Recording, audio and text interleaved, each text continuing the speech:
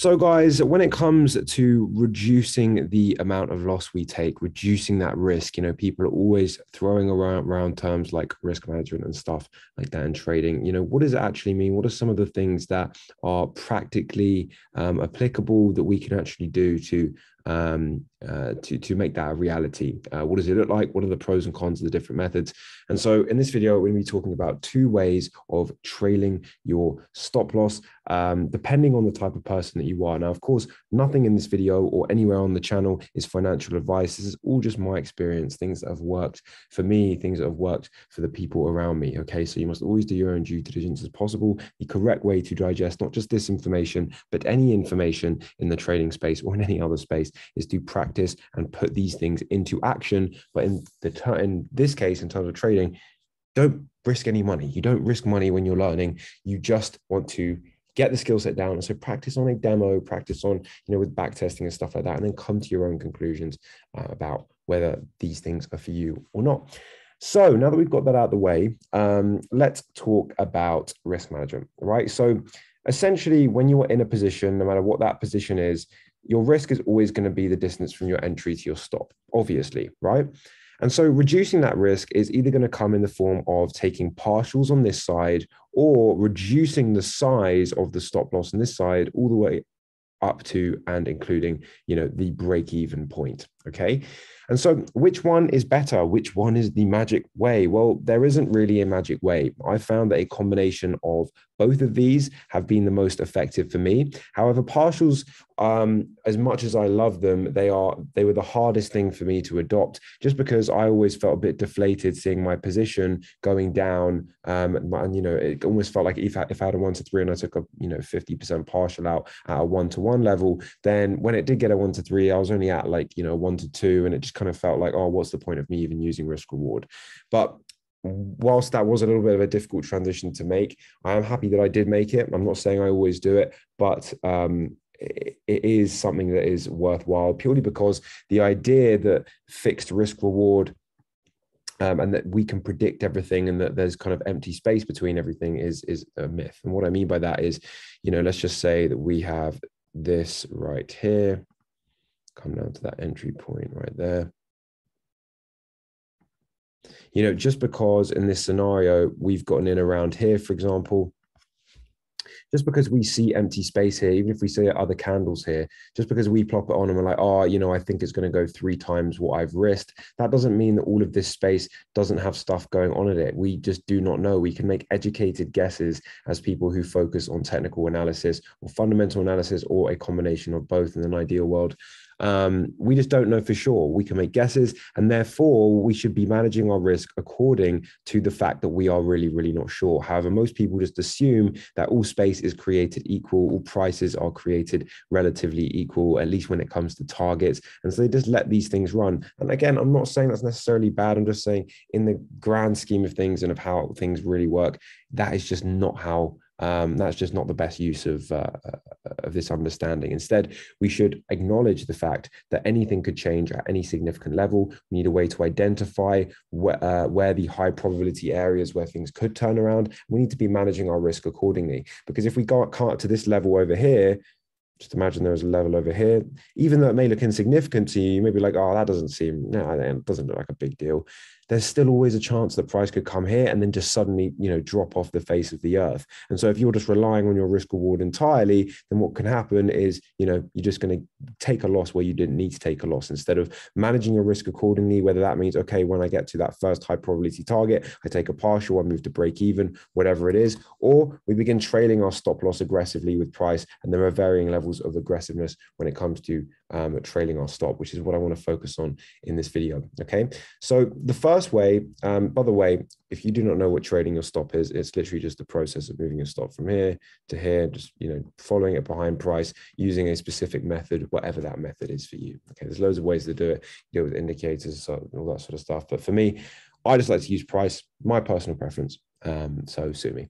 Um, so the first one would be, let's just say we got in down here Okay. Again, I'm not, this isn't a strategy video. I'm not talking about entries and stuff like that. This is literally just to prove a point here and just explain this one concept. But let's just say we got in here. I'm just going to move this over to the side here. Um, then what this could mean is it could mean maybe the first rule, and this is the first method I want to talk to you about, is simply trading below the bullish candle uh, lows, or if it was obviously a sell example, be below uh, above the bearish candle highs. And this would be the more aggressive form of uh, stop trailing. Now, there are pros and cons to each one of these methods.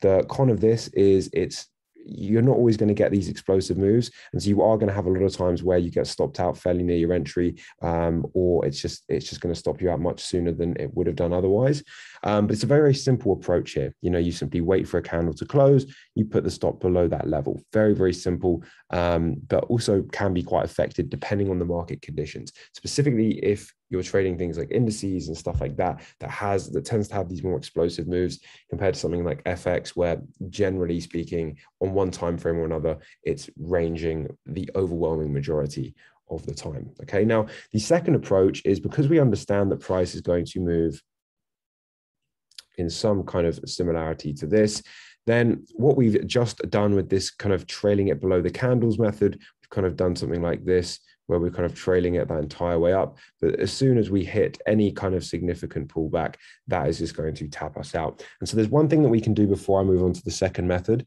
and that is we do it, uh, we trail our stop to not the previous candle low that's just closed, but the previous previous so two candles ago so for example if this candle right here has just closed uh in this one so let me just draw a little arrow just so this is totally clear so this one so when this candle opens in other words when this candle closes before it we don't put our stop below the previous candle, we put it below here. And so then when we go to the next candle, then we put it here.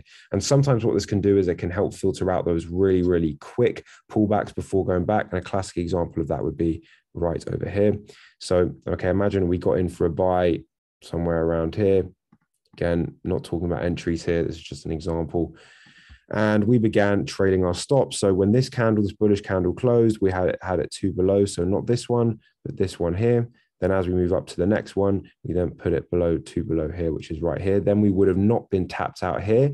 Whereas if we just used the most recent one, we would have been tapped out there. Okay, now I'm not saying there's anything necessarily wrong with doing the most recent one. Everything has pros and cons. There are cons of putting it two candles below as well. Sometimes it will just it will go up further and then come all the way down and stop you out at like break even or something like that, which isn't the best feeling, but hey, it's better than a loss most of the time. Okay. So that was the first method, which is what I would class as the more aggressive approach. It's more aggressive because it's following price at a more, you know, being more aggressive way. I don't know how else to describe that, right? The next method would be identifying and having a systematic way to identify swing points. Okay, so how do you know when a low has formed? What are the rules for what makes this a low? Okay, so at PsychFX, we have a very uh, unique and systematic way of reading structure. Um, now, I'm not going to get into it here, but for example, this would be a valid low, whereas this right here would not be. Okay. I'll show you. An, so this would be, uh, this would not be right here. This would not be a valid low. This would not be, uh, technically, let me just have a look. Yeah, technically that could be, that potentially could be right here, okay? But if you don't have that, then you're not going to be able to systematically do what I'm talking about right here, okay, if you choose to. Um, so when you have a systematic way to identify it, as soon as you get that completion of whatever those rules are for how you identify it, then simply it would be placing the stop. But you know, the exact amount of pips, I don't know, but like a few pips basically below that point and then you continue to do this for as long as price goes. Now what are the pros and cons of this? Well the pros are generally speaking you're going to catch more of the move most of the time but the cons are you also sometimes are going to have uh, moves that go decently in, in a direction but then come all the way back down and because you still haven't had a chance to you know trail the stop you'll probably only be at break even or something like that. And so that can be not suited to everybody but it is a very very nice approach. Now it's impossible to show you an example of this in this particular area of price purely because we haven't had any significant pullbacks just yet. Okay, so let me see if I can find a quick example for you. In fact, I'm going to go down to the five minute just because we're likely to see more information. Okay. Okay, so we have break of structure here. Uh, we also have a break of structure. Actually, no, according to my rules, that's not a valid high over here. So we break above right here. And then all I'm going to do now is I'm going to mark out all of the lows that are, uh, sorry, I'm going to mark out the lows according to our rules. Okay, so that is valid. This is valid.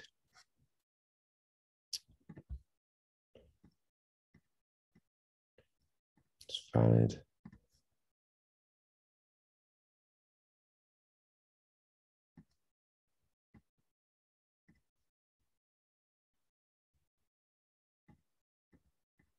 Yeah, so these would be all of the valid lows.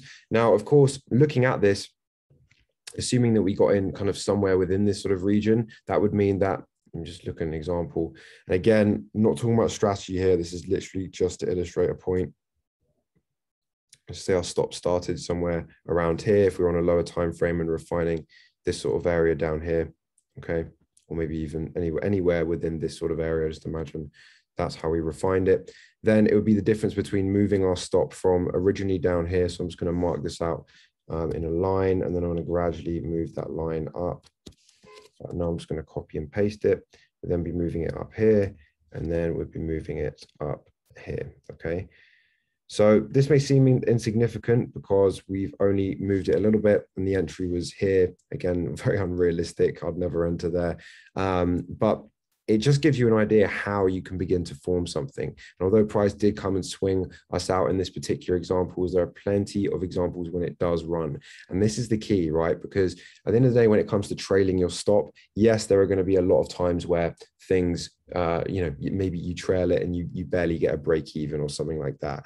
But when you're trailing your stop, you are waiting. Your job is to be patient and just follow the rules and manage the risk so that when the time comes, when those big trends do come, you are in the most prime position to take advantage of it. Because if you trail your stop, generally you will be in a very, very lovely position to just continually ride the move out. Okay. So, right here, for example, if we were selling over here for whatever reason, stop started there, stop, uh, valid high right here and again, this is where it becomes really, really important to have a way to identify valid highs and valid lows, because if you can't do that, then you're going to run into all sorts of issues here. For example, if you're seeing these as highs or lows, then I'm not saying that's bad or good, but I'm just saying in this particular scenario, you wouldn't have been able to take full advantage. See, by trailing it, having a systematic way of developing structure and understanding structure, it does put you in a very powerful position. Trail it down here um, so these areas that I'm marking, by the way, they are literally just valid highs according to my rules, as simple as that. Uh, then we have one right here. And so we would have been stopped out at this level right here. Okay. But you can see compared to if you'd just been, if you, uh, you just used a, a, basic fixed risk reward, you wouldn't have been able to take advantage of that fully, um, at least not without just holding it to you know infinity and beyond. Of course on the flip side of this we can in, you know implement partials and stuff like that. Again um, one of the key areas for partials at least one of the most simple ways of doing it is at swing points which brings it back to the original thing. You need a way to systematically mark out structure. Now, whatever that method is, whether your method is different to mine, it really, really doesn't matter. Um, the bottom line is that you are, uh, you do have some sort of way to read structure systematically, because at the end of the day, if you can't have consistent output with what you're doing, in other words, you can't, uh, sorry, consistent input. So in other words, what you do day to day, the way that you follow your rules, if you can't be consistent with that, then how can you expect consistent output in the form of your results? Okay, now I do advise you to go uh, on your charts and backtest these things without risk. Maybe develop your own method of identifying swing highs and swing lows in a in a very concise and clear fashion. If you want to kind of save some time, you're welcome to join the academy. There's no pressure to do that whatsoever. I've got lots of videos on the channel that you can enjoy. Um, so make your own decision, take your time. And uh, I really, really hope that you have enjoyed this video. If you have, if you'd like me to make a follow-up video talking about it in a little bit more depth, maybe you thought there's something I've missed, let me know in the comment section below and, uh, and we can get uh, well, and I'll make a video for you. But take care. I hope you have an amazing rest of your day. Hope you have an amazing week ahead, and uh, and I'll see you very soon.